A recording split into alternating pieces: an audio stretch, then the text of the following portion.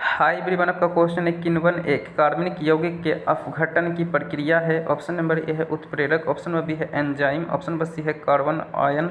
option number D है मुक्त कण तो इस क्वेश्चन का option number B correct answer हो जाएगा एंजाइम सो थैंक यू